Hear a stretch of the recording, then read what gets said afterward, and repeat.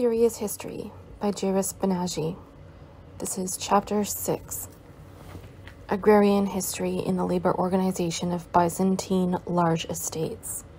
6.1 Introduction Although the emergence and consolidation of the new provincial aristocracies of late antiquity meant a considerable development of large estates and their exploitation as jointly owned consolidated holdings, not much has been written about the organization of estates. Indeed, till today, the only focused monograph is a study published in 1931.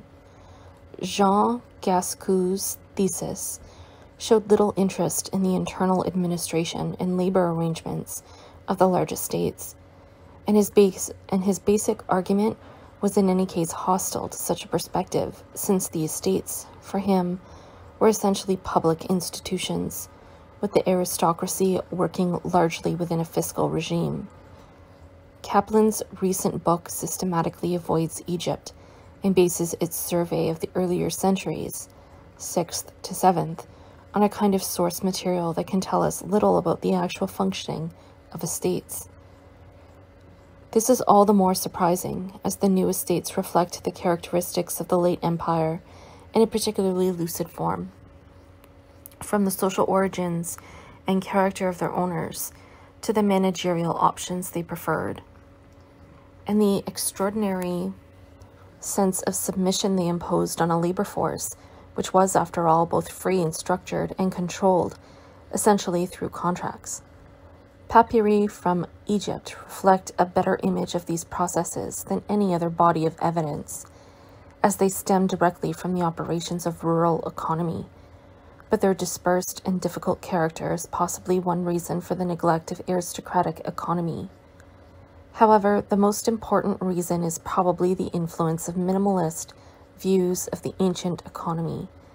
The idea that pre capitalist classes lacked both sophistication and basic economic rationalism, and that large landowners, in particular, were simply rentiers with no interest in labor processes or the broader organization of production. My interest in this paper is in the status of the peasantry in the late antique world, which very roughly spans the period from the 4th to the 7th centuries. This was an epoch of rapid social change of new cultural dynamisms, and of a large scale restructuring of both economic and political life. For generations, however, the vitality and innovation of this period, a post classical one, were simply ignored. And these prior proto medieval centuries were seen as an age of unrelieved gloom and decay. When this sweeping orthodoxy was later relaxed, the assumptions scholars had made about the agrarian life of the period were merely inverted, and consequently one is left today with two contradictory models, which no longer seem particularly useful. Neither of these models is tenable, as each fails to capture the peculiarity and sophistication of late antique economy and culture, which, with their deep rooted and multiplex hierarchies, were nonetheless more fluid and democratic than the world from which they emerged. The parochial and human slaveries of the classical world were superseded by more metaphysical subordinations, servility to the emperor and to God, but both assumed freely by subjects conscious of themselves as loyal and or devout individuals. At the economic level, more and more labor power was repulsed from the fabric of the old economy and absorbed in the creative environment of monasteries and large estates. Jördens' work shows that there was a long term expansion of wage employment, and Susan Harvey's study of asceticism emphasizes its profound links with the growing insecurities of a world repeatedly ravaged by warfare and scarcity. These wider or deeper contexts are naturally presupposed here but they are important, for the economy of the late empire is, at one level, incomprehensible without them. Historiography of abstractions. When a recent study of Egypt in the 4th to early 5th centuries gives historians the option of choosing between the feudalism of the large estates and the unchanging centrality of the small family farm, The contrast is badly conceived, for feudal economies of a purer type have always presupposed what one historian calls the primacy of peasant economy. Bagnall clearly did not intend agrarian historians to choose between peasant proprietorship and tenancy, for these could easily have coexisted, as they frequently have done, but between statuses. Were peasants free or were they bound to large estates? That they may have been both free and worked for large estates is not an option he considers, for he, like the traditionalists whose conclusions he rejects, automatically identifies large estates with the exercise of coercion. To reject the idea of widespread or universal coercion, he feels he must reject the view that large estates were an important element in the rural economy of the late empire. Thus, Gutswirtschaft and Grundwirtschaft are both effectively swept away in one massive sweep of iconoclasm, and the issue of how large estates were actually organized is left in limbo. There has, of course, been a long tradition of defining the peasants working on such estates as serfs, influenced clearly by the general conception of the colonate as an essentially medieval or feudal type of institution, which coerced an unwilling peasantry into service on the large estates. The assumption here should be that landlords extracted labor by force, but in fact, proponents of this view do not see serfdom in terms of the actual organization of labor but as a more diffuse or abstract juridical relation. The economic forms in which estates exploited these juridical serfs, the so called coloni, were the usual types of tenancy. As Clausing put it, the colonus is revealed by the codes as a small tenant whose most noticeable characteristic was his legal attachment to the soil. He cultivated his own land, as a payment for the use of the land he owed a yearly rental to the landlord. The rent was ordinarily paid in kind. The legal evidence, however, and the problems of its historical interpretation were too complex to sustain such lucid simplicities, and the thesis of a late Roman serfdom was largely given up. The post war revisionism was led by Johnson and West in an influential work published in the 1940s. They rejected the view that the peasants who worked on the large estates were serfs of some kind. The law did not bind the tenant to the soil. We suggest that the Anapographoi Georgioi were free tenants, since free clearly refers to the lack of any definite legal restrictions on the mobility of the peasantry. One or two qualifications might be useful. The juridical status of the so called tenants is no indication of how much pressure landlords actually applied to secure the submission or even complete dependence of their workforces, and certainly not proof that they did not apply such pressure. Secondly, they admit, or sorry, they themselves admit that the position of the tenant seems to deteriorate in the 6th century. This was especially true of sharecroppers.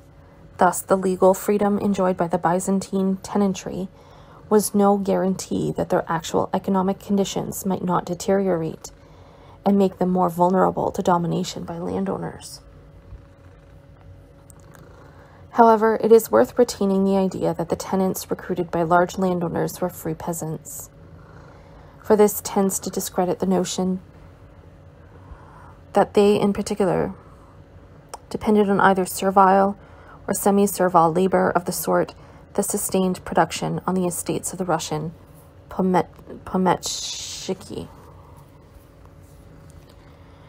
Once cons one consequence is obvious, whichever view one adopts of the freedom of lack the, of the freedom of lack of freedom of the late antique peasantry. The majority of scholars seem to concur in the belief that large estates, or large estate peasants, the peasants of the Apions, for example, were small tenants, and that estates parcelized their land into small holdings, which were then leased out for payments in cash and or kind. With the exception of Mickwitz, I am not aware of a single dissenting view in this matter. This consensus is even more impressive when we consider that both Johnson and West and Jean Gascou took the trouble to note that no leases actually survive in the relatively abundant documentation of the Apion state of the Apion estate. It is the aim of this paper to reject this view and substitute a more complex model. I shall argue that the organization of the Byzantine large estate was fundamentally similar to the organization of Egyptian large estates in the late 19th and 20th centuries. To be able to establish this, however, we have to do several things. One, look at the terminology for rural classes without making apparently common sense assumptions as to who the Georgioi were likely to have been. They are normally thought of as peasants, but the issue is who or what was a peasant in the late antique context. Two, re-argue the case for permanent labor. Three, pay more attention to the details of our evidence, referring especially to a few recently published papyri. And four, correlate all this evidence with, what, with whatever one has begun to learn about the organization of estates in the more recent period, relying mainly on the work of Roger Owen and Alan Richards and the sources they have used. 6.3 Rural stratification. Um, Giushunt, Titores, and Ergite. Lots of words I can't pronounce. In his recent book, The Pasha's Peasants, Kenneth Cuno had drawn attention to the existence of a highly stratified rural society before 1800. The gap between the smallholding and landless strata and the wealthy peasantry increased in the course of the 19th century, but it is clear that it pre-existed the reforms of Muhammad Ali. In general, this stratification may be summed up by referring broadly to the wealthier peasant stratum, smallholders, and the landless. Clearly, much of the fiscal proletarianization, which Baer describes as characteristic of the regimes of Said and Ismail, was borne overwhelmingly by the middle group, those described as smallholders.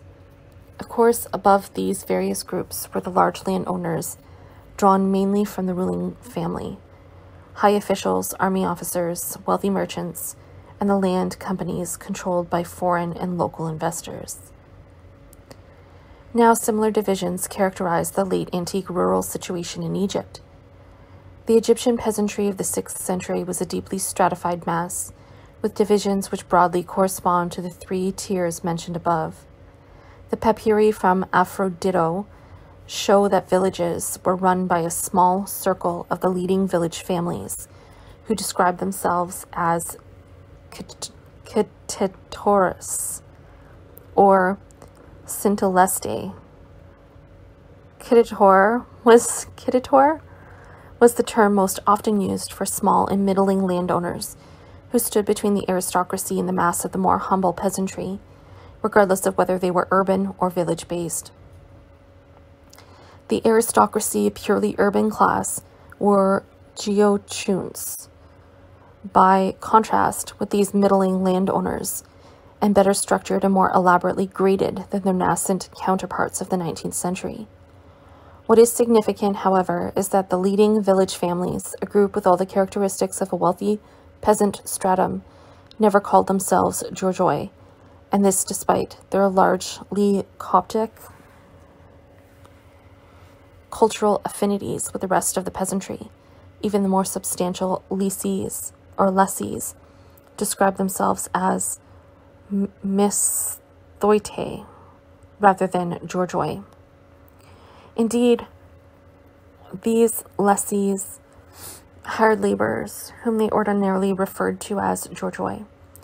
The implication of all this is that the Georgioi were not primarily a landed class, or more accurately, accurately not seen as one, which explains why they were in fact frequently counterposed in imperial legislation, literary sources, etc., to the class of landowners as a group defined less by their ownership of land or other resources than by their physical labor on it, whether as smallholders, lessees, or rural laborers. Finally, it is possible to find documents where the Georgioi and the Ergite are distinct categories, reflecting situations where smallholders or lessees are permanent workers, or permanent workers were distinguished from casual laborers ergates was the normal term for a casual worker, agricultural or other, but in late antiquity it came to be used of permanent laborers as well. Since the most common way of referring to full time workers was actually Georgios, it was possible for these terms to acquire broadly similar connotations, as in a novel of Justinian of Justinian I, which defines or Justinian I, which defines a particular category of Georgioi, we shall be concerned with as oikators ton chorian keton agron ergite, i.e., rural workers permanently resident on estates. 6.4 The case for permanent labor. The argument for permanent labor flows directly from this. The assertion that hired laborers seem very rarely to have been employed on a permanent basis is not supported by the evidence of the papyri. Indeed, there are at least three levels at which one might respond to this, or to the view that permanent labor was not used because it was inefficient. First, there is Egyptian evidence from other periods of the country's agrarian history. Then there is the general evidence of agrarian histori- historians, which shows that permanent labor was the structural basis of large estate agriculture in numerous and diverse historical settings until the agrarian restructuring of the late 19th century and the massive casualization of rural labor markets. Two Chinese historians who have dealt with the organization of large estates in late imperial China used the term managerial landlords to describe landowners who based their production on the work of long term laborers. I shall retain this phrase as an apt description of the Egyptian aristocracy of the 5th to 7th centuries. Finally, there is the evidence, sporadic though it may appear, of the papyri themselves, which ranges from the 3rd to the 7th centuries.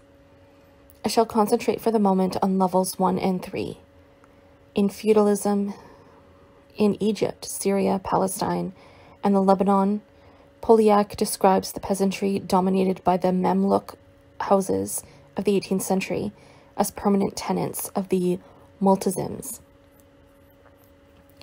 All the references are to Al Jabarti's Chronicles. However, the term which he seems to translate in this way, Muzarian, simply has the most general meaning of peasants or farmers and Al Jabardi frequently refers to their peasants when he describes the domination of the multazims, that peasants in the iltizam system were permanent tenants, thus seems to be a description not of the way the labor process was organized, but of their juridical or quasi-juridical status, and it is therefore worth ignoring this passage. Lancret is in fact much more informative about the way the multazims organized production on their Usia or Us, yeah, Usia lands and mentions leases to the village sheikhs, paid labor, and forced labor as the chief methods used to exploit such land. It is unlikely that these were sharply contrasting systems of production, for each of these methods must have involved some degree of coercion. The fact is that exploitation by the multazims, whether on their own land or on peasant land, created a general impression that the Egyptian peasantry of the Neo Mamluk period was a highly vulnerable and destitute group. For instance, when Volney wrote that the peasants are hired laborers to whom no more is left than barely suffices to sustain life, he surely could not have meant that paid labor in some formal sense was the regular form in which peasant labor was exploited but only that, whatever the particular form of exploitation, the peasants were as good as laborers. More specific evidence is found again in Girard, who investigated the costs of production in rice growing in the province of Damietta. Girard refers to les ouvriers attachés pendant l'année aux travaux de l'exploitation and is and distinguishes them from les journaliers, who were clearly casual laborers employed in weeding, transplanting, and cleaning up canals. In short, there is certainly some evidence for the use of permanent paid labor in the period before the full development of the ezba system, though its actual extent and precise forms remain unknown. Perhaps the most valuable contribution of the late Ottoman sources is simply the general impression they convey of peasants who could be treated and seen by others as laborers, that is, of a peasantry without the resources, legal or material, to withstand coercion into coerced wage or serf labor. The sharecroppers mentioned by Poliak, again on the basis of al Jabarti, would undoubtedly have belonged to this category, being mostly laborers paid in kind. Again, the ancient evidence is largely concordant with this. As I noted earlier, Egyptian and other ancient sources tend not to treat the Georgioi as a landed class, but as a class living by its labor on the land. On the other hand, the question of permanent labor concerns the more specific issue of whether and how frequently such peasants worked as full time rural laborers on large estates with the resources in land, grain, and cash to employ them on this basis. Rathbone's study of the Fayum estate of Appianus shows that at least some 3rd century large estates used the system of permanent labor, though his work also suggests that in terms of actual labor inputs, such estates remained massively dependent on the supply of casual workers. Um, I lost my spot. How did that happen? Mexican wheat estates of the late 19th century tend to confirm this pattern, showing that estates with resident workforces consistently required large numbers of seasonal laborers. Mertens characterizes such haciendas as wage labor enterprises, and in a strict sense, the same description might be used of the Appianus estate. The significant point here is that the formation of an aristocracy did not preclude, and may even have stimulated patterns of labor use, dependent largely on wage labor. The next piece of evidence is also from the third century. This time, from the estates of Calpurnia, Her- Heraclea, who came from an extremely wealthy Alexandrian family.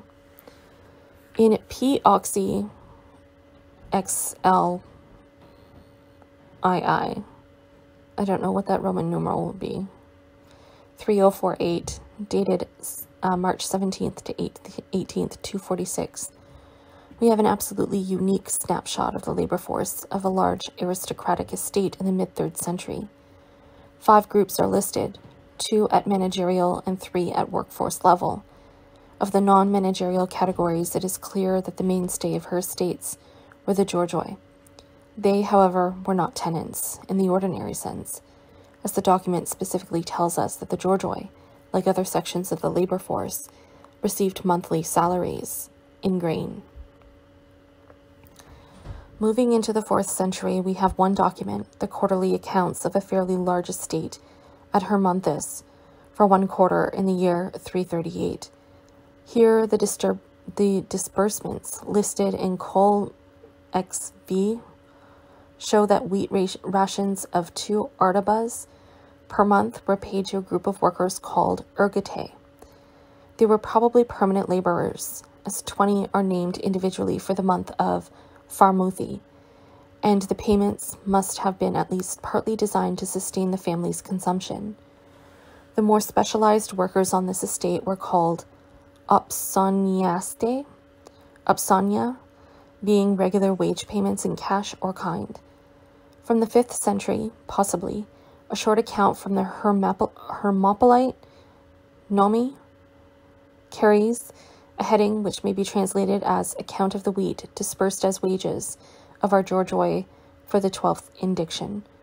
These laborers were certainly permanent, as their wages are said to be for the whole year, although the amounts vary. Finally, a much later account from the archive of Papas, Pagarch of Edfu, dispersed 132 artabas of barley, hyper misthu gorgon, divided by a standard ra- ration of 12 artabas. This would yield a full time labor force of 11 workers.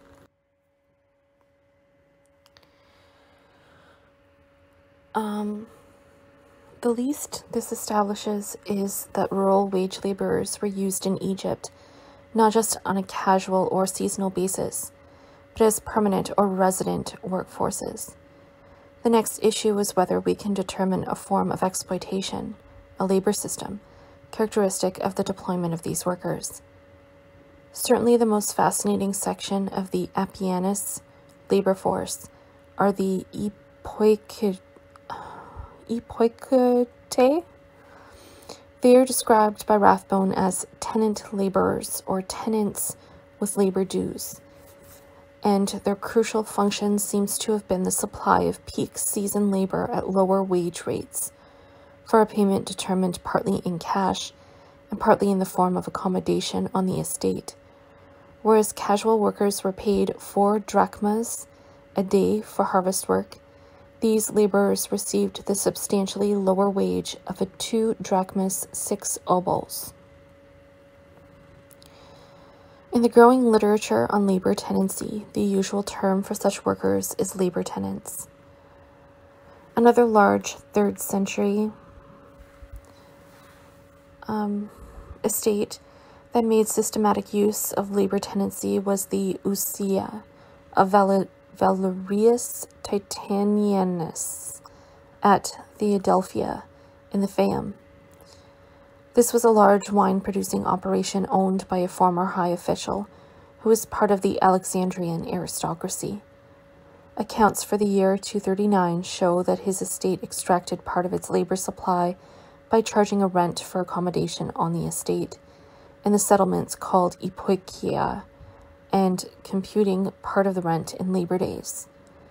Since the basis or since the basic rent included 12 days of labor every half year, the estate obviously used this system to secure a substantial quantity of free casual labor from its tenants. However, at the imputed wage of two drachmas, there was no difference in the rates paid to these workers and to ordinary day laborers. These two examples show that large landowners were consciously structuring their supplies of labor in forms that gave them maximum flexibility, and that forms of labor tenancy were certainly in use by the third century. 6.5 Restructuring in the later empire. It is doubtful if the Alexandrian aristocracy of the third century ever completely succeeded in forming a coherent and stable class.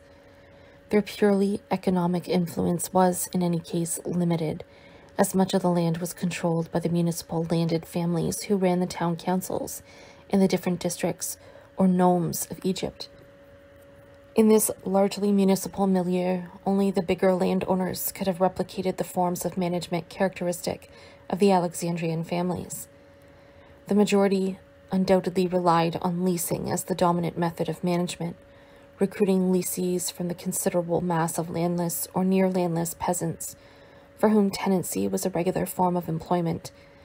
In fact, it was this stratum of municipal landowners or landholders which would eventually suffer a near eclipse, as their properties were relentlessly sundered in the process of subdivision and the deeper dynamisms of the late empire economic, social, political, unleashed a prolonged restructuring of agrarian society, with the emergence of new landowning groups such as the nascent aristocratic families of the 5th century, the church, the monasteries, and the middling bureaucracy of the provincial towns. Above these groups were the massive possessions of the imperial household, including the estates of various members of the imperial family, organized in the Domus Divina and below them in the villages, a rich peasantry who are remarkable counterparts of the village sheikhs of the 19th century. Thus, the agrarian landscape was both stratified and complex, and, of course, there is no reason to suppose that the forms of agrarian management, characteristic of the elite aristocracy, were found at most other levels, other than the Domus Divina itself emerging from the upper ranks of the services as Ostrogorsky, in fact, wrote of the Byzantine aristocracy of a later period. The new landed aristocracy comprised mostly high officials who, like the Russian pomeshchiki of the later 18th century, were great believers in the careful management and bureaucratic administration of their properties, influenced no doubt by their imperial background. These then were directly managed properties with owners investing heavily in the infrastructure of administration. By contrast, leasing was widespread on most other types of properties, though by itself the term conceals a great variety of content, both as to the type and duration of the lease and the type of leasee. In the countryside around Hermopolis, much of the land was leased to Georgioi, who resided in the town itself. The, the lessors were affluent middle class landowners, many of them women or ecclesiastical holders, such as the Holy Church of the Resurrection, whose lands were situated to the east of the town and leased out in tiny parcels, one to two aruras, for durations of two years. In the village of Aphrodito, further south, middle class landholders dealt with a similar stratum of peasants, though we also have leases of substantial farms or gardens to a group of obviously wealthier leasees. Church and monastic properties were often exploited on perpetual leases, and the holders of these were again likely to be substantial leasees or persons of the aristocracy. Finally, some large estates were leased out to commercial farmers, who were probably similar to the Italian Massari of more recent times. It should be clear, then, that the argument which follows is not intended to characterize the agrarian economy as a whole, but only the organization of aristocratic estates administered in the complex and bureaucratic forms characteristic of the 6th and 7th centuries nor should the contrast between actoristic of the 6th and 7th centuries. Oh, sorry. What? No, sorry. nor should the contrast between direct management and leasing be exaggerated, both because the more humble leasees were often simply laborers and the lease more like a labor contract. This was especially true of sharecroppers and because tenancy could be integrated into a regime of direct management, as I shall now try to show.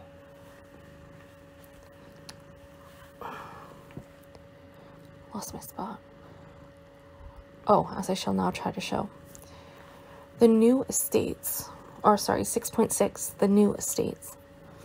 In his monograph, The Large Estates of Byzantine Egypt, Hardy says almost nothing about leasing although curiously, his account of the Apion estate assumes that it was organized on the basis of rents extracted from a, a peasantry, which, while bound to the soil, nonetheless leased its lands from the proprietors. In a similar vein, the Italian scholars, or the Italian scholar Segre, could write the conditions under which the coloni rented the estates from the managers are rather obscure. Tenancy at will is frequent in the, in the leases of the 5th and 6th centuries. Apparently, the coloni adscriptici remained on the estates for generations and cultivated the soil under rather permanent conditions. To add to the confusion, Segre then went on to draw an analogy with Mexican estates and describe the colonate in more general terms, as a form of organization of agricultural labor. The sheer incongruousness of these accounts should have warned later scholars that something was seriously wrong, and that it might be worth probing the organization of estates with fewer preconceptions. It is worth noting, however, that the first editors of the Oxyrhynchus Papyri thought that the Georgioi working on large 6th, sixth century estates were laborers of some sort, for laborers was how they usually translated Georgioi. The oxyrhynchite material relates predominantly to large and very large estates. Unfortunately, it is easier to form some impression of how the aristocracy uh, was structured in what was then a fairly dynamic part of Middle Egypt capital of the pro province of Arcadia, than to know how the different layers organized estates which clearly differed greatly in size. The overwhelming bulk of the evidence derives from a single estate, that of the Apion family, though, of course, important isolated documents survive from other aristocratic, ecclesiastical, and medium sized properties. By contrast, the Fayum material is much more dispersed and the evidence less easy to construct or to reconstruct. The new aristocratic estates, which emerged in the main part of the 5th century to reach their classical form in the 6th, were called oikoi, houses, to emphasize their structured and permanent character. From the Apion archive, it is certain that these estates were held in joint ownership and thus immune to the devastating fragmentation of partible inheritance. At the economic level, the most important fact about them is their considerable integration into monetary economy and their ability to generate substantial revenues in gold. Finally, irrigation was widespread on the new estates, and hired labor was used extensively. The rapid diffusion of water wheels in the countryside of the later 5th and 6th centuries reflects the willingness of owners to make substantial investments and the spread of summer irrigation and implies a larger Byzantine legacy in the agricultural revolution of the Islamic period than Watson seems to allow for. In particular, the stimulus of an expanding wine industry encouraged producers to structure these investments carefully. For example, in the Apion archive, the average turnover of an axle was put at seven years, and the issue of spares administered from a central office in, in Oxyrhynchus. The implicit rationalism of the new estates would no doubt have extended to their deployment of labor. The Apion archive contains a series of accounts listing receipts in cash and kind, and at first sight, this type of accounting seems like strong evidence in favor of the theory that estates based their revenues on the leasing of land to small tenants.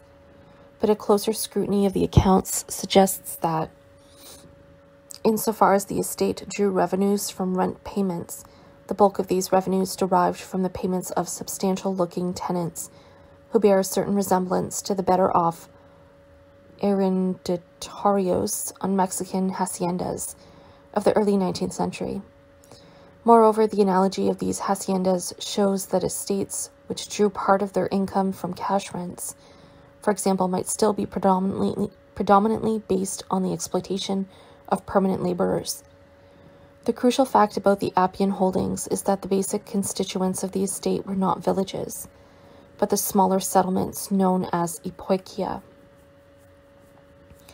Since these are a decisive clue to the organization of labor, they seem like an obvious starting point for the argument.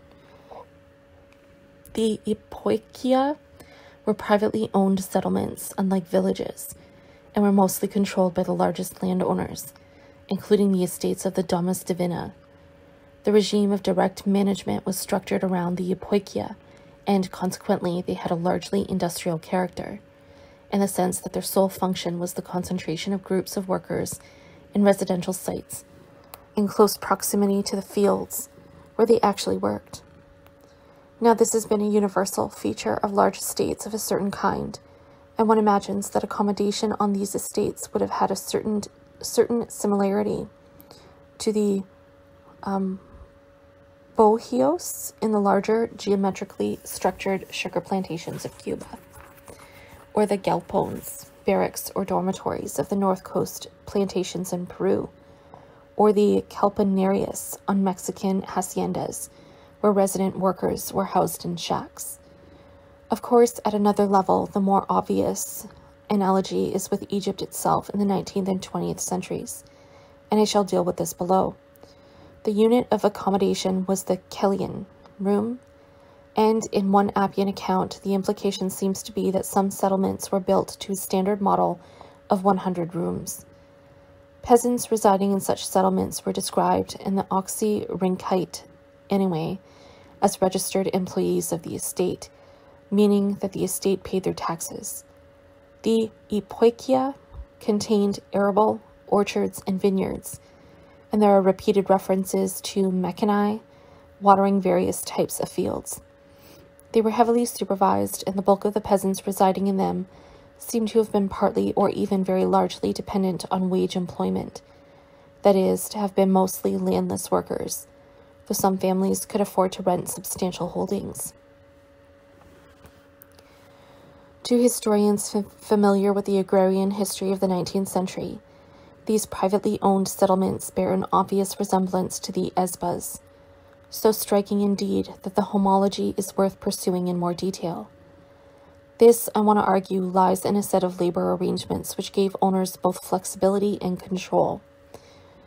One of the earliest references is from the 1870s by McCoan, who was editor of the Levant Herald and wrote of the estates of the large owners, the wealthier pashas and beys, that they either employed morabbain, laborers who were paid a share of the crop, usually a fourth, or were worked by subletting small plots of ground at a fixed rental of so many days, field labor, per feddan. In other words, the evolution of the new private estates um, of the new private estates had already generalized a kind of labor tenancy, with owners using the labor of tenants as laborers rather than tenants. In 1898, Nur ed Din described the system a bit more fully, explaining that owners attracted labor by offering workers substantially reduced rents, whose actual payment was then adjusted against any wages they earned.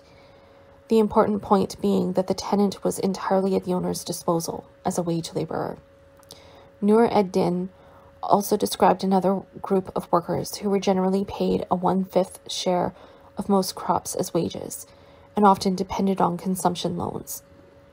In 1901, Nahas published a slightly more detailed account of these arrangements in a chapter of his thesis, and was the first to emphasize a crucial feature of the system, namely that in hiring workers on this basis, landowners had access to the labor of women and children as well. Contracts were verbal, labor intensely supervised, and the volume of labor adjusted to the requirements of the estate. Nahas noted that in assigning subsistence plots, landowners took account of the size of the tenant household, and that the latter in turn contracted to finish or to furnish a specific number of workers as potential wage laborers, with the usual adjustment of wages against rent.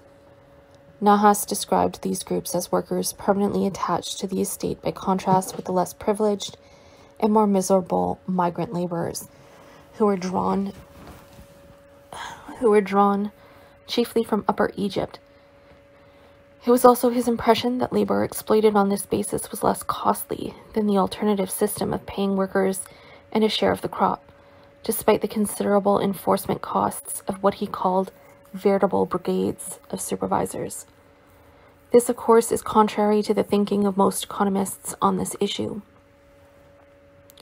To sum up, the details of these arra arrangements would have varied from one estate to the next, but in essentials, large landowners recruited workers by paying them either in a share of the crop or under some type of labor tenancy.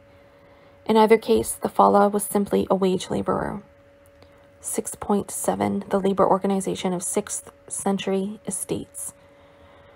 To return to the Byzantine evidence, the model offered by the ezbas can and does help to elucidate the corresponding organization of labor. On the 6th century, oh, sorry, on the 6th century estates. Two recently published papyri are of special interest here, though I shall start by recalling the general characteristics of the labor force on large properties in late antiquity. As I noted earlier, our only explicit definition of the kind of peasants who were called enapographoi, Georgioi, treats this kind of labor force as resident on estates and as mere laborers. Moreover, this novel and a great deal of other legislation was concerned specifically with problems arising out of claims over the progeny of such resident laborers, thus implying that it was not uncommon for workers to reside on estates from one generation to the next as for example on the 19th century Mexican haciendas studied by, Bez- by. In fact, this is shown by two documents of the Apion archive, with the Georgioi stating in both that they had served the Apions or resided in their Ketima, that is, the Epoikion, Ek Pteron K Progonon, from the time of our fathers and our ancestors. Thus, the labor on these estates was, to a large extent, resident. Secondly, it was also intensively supervised. In P. Oxy 2239 598, the aristocrat Flavius John recruited, recruited an epikeimenos or field boss to take charge of general supervision of his Georgioi. The new manager, Jeremias, undertook to, um, to employ every care, every care and efficiency in the cultivation of your estate with regard alike to the new plantation and to the large estate plants. Furthermore, I acknowledge also that I will cause all the laborers of your honor in every place and every holding of the same estate to sow the irrigated fields of the estate, to plant acacias, and to be ready to show every zeal in bringing your landed estates into better condition. Finally, it is clear that some or even many of the Georgioi attached to large estates had livestock of their own, and I suggest that this may have been the main factor which compelled them into forms of labor tenancy, as with the Kikuyu squatters employed by white settlers on plantations and estates in the Rift Valley province of the White Highlands in Kenya. What then of the actual deployment of these workers? Estate labor forces included many groups of specialist workers, maintenance staff, such as the carpenters, who kept the mechani in repair, or actually fabricated them using acacia wood supplied or bought from the estate, millstone cutters, smiths, stonemasons, etc. But few contracts are preserved, and it is likely that their employment was not characterized by a standard type of contract. These workers reflected the workings of a free labor market, with agreements signed for specific jobs, or lifetime contracts, such as one with the aforementioned millstone cutter, who even got the estate to agree that it would pay a substantial fine if his employment was unreasonably terminated. However, the remarks which follow do not apply to these workers, obviously, but to the main groups of the labor force, such as Georgioi, Ampelurkoi, and Pomiridae. The system emerges especially clearly in P. Oxy 1, 192, and 206. At one level, and P. Wash University, or P. Wash University 2102 at another.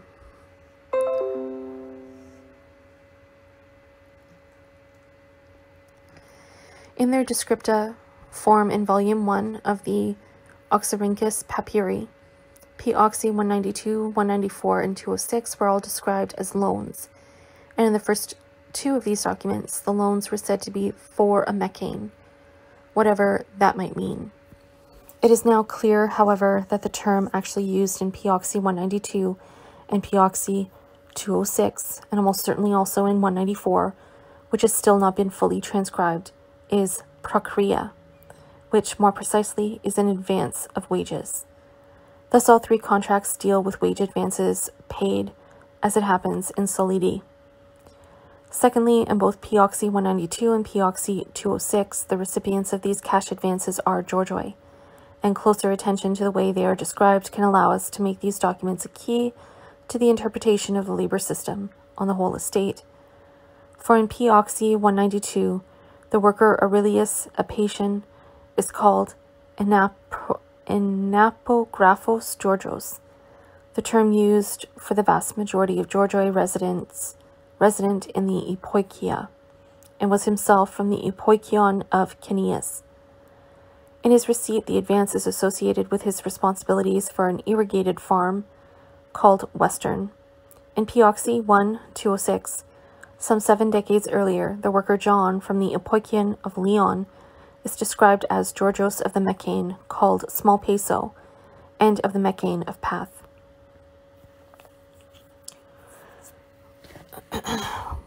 this is tedious. The expression Georgios Mechanes is crucial, as we have at least two other documents among the longest in the Apion archive with the same or a similar expression. The first of these, Poxy 2244, repeatedly describes laborers from the various epoikia by the term Georgios Mechanes, meaning the worker assigned to such and such irrigated farm, and even refers to John son, John, son of Peleus, from the Epoikion of Leon, the worker in Pioxi 206, though assigned to a different mechane, while Pioxi 2197, dealing with the consumption of bricks on the estate, refers repeatedly to the farms themselves as under or in the care of such and such Georgios, meaning the plot assigned to this or that individual. Thus, Pioxi 1206 can be generalized to a large section of the Apion labor force through these more detailed documents and the system of work allocation they imply. The strong implication is that Georgioi or other agricultural laborers, such as those tending gardens or vineyards, were assigned to individual irrigated plots or farms, or gardens or vineyards, or vice versa, usually paid cash wages in the prevalent gold currency and entitled to advances out of them. That these advances were in fact wage payments is especially clear from a Her- Hermopolite document dated 627, where the concluding formula is the standard clause promising to pay back the advance should the employee abandon or cut short his or her assignment. It is likely, though we cannot prove it, that advances of the sort found in Pioxi 1 192 were recorded in accounts pertaining to individual laborers, on the pattern described in Rathbone for the Appianus estate. Three of the main water wheel receipts in the Apion archive refer to the Pitakia of individual employees and these, I suggest, were employees' individual accounts with the estate. The wider analogy here is with the systems of wage accounting which characterized the Mexican haciendas till well into the 20th centuries, general term for which might be ajuste de cuentas, or account adjustments. At another level entirely, P. Washington University 2 102 shows individual settlements supplying an agreed number of workers for sewing operations in the auto orja of the Apion estate. It is possible that in this document, the term ergates simply meant casual laborer, and that the casual labor supply was normally organized through the epoikia, which acted as labor, as labor brokers.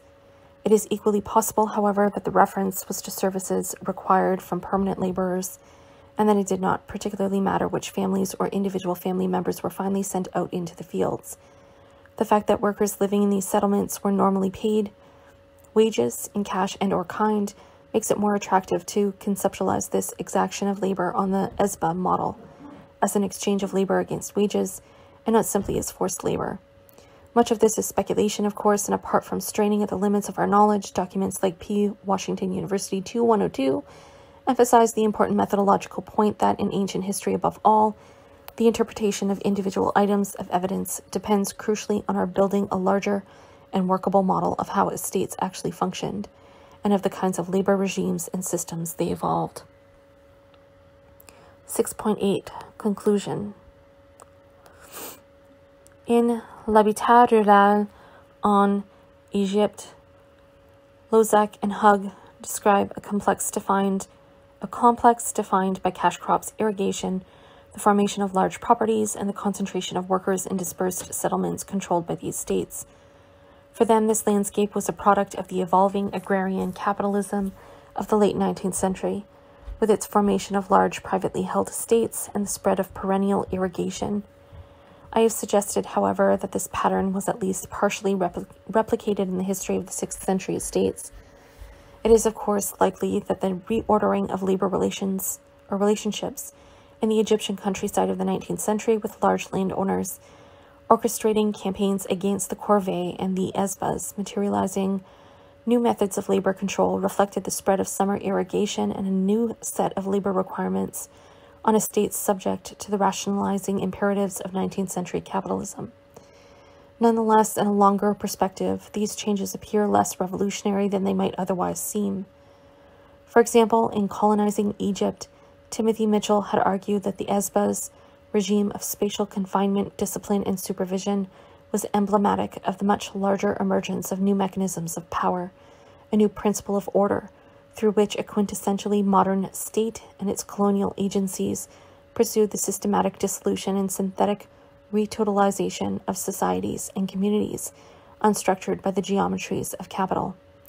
All of these are valuable and even obvious perspectives on the changes in the 19th century, which reintegrated Egypt into a more modern world economy shaped by the evolution of British industrial capital. but at a deeper level, they contain a major problem, or at least a paradox. If the ezbas were in some sense the revival or reenactment of social forms, methods of organization characteristic of Egyptian large estates in earlier centuries, and above all, in the period marked by the greatest development of private land ownership prior to the 19th century, namely the 5th to 7th centuries, then surely we must, again in some sense, extend these characterizations to the rural society of the 6th, 6th century and see in the large estates of that period a curious prefiguration of something intrinsically modern. Agriculture was history's first theater of capitalism, but because our notions of the latter have been irreducibly shaped by modern large scale industry and the profound analysis that Marx developed in Capital, we only seem to be able to grasp the history of agrarian capitalism through a sort of palimpsest. The whole debate between the primitivists and the modernists is essentially a misunderstanding caused by this fact. For what the primitivists clearly do is measure economic behavior by the revised edition of capitalism, so to speak. Secondly, it is also worth emphasizing that the Egyptian peasantry in particular has a strangely elusive quality. Our only detailed study in English of the agrarian structure of a country in the Middle East draws a useful distinction between peasant proprietors, crop sharing peasants, and landless laborers.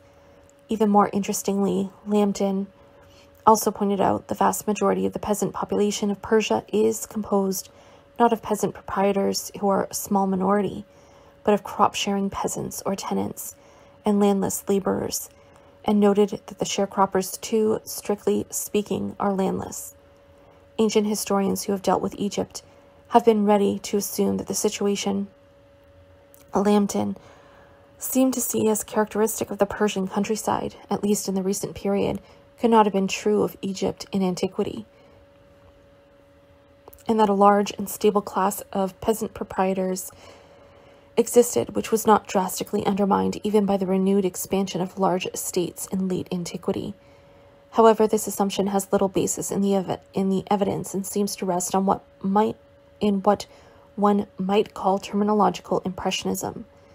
I have suggested in this paper that the Egyptian peasantry was a less stable group than this convention assumes, that there was more landlessness in the ancient countryside than we seem willing to allow for and finally that the organization of the large estates could well have reflected this fact.